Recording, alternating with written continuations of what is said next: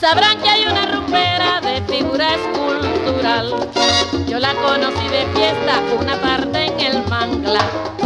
Es una cosa soberbia y sobre lo natural. Como mueve las caderas cuando se pone a bailar.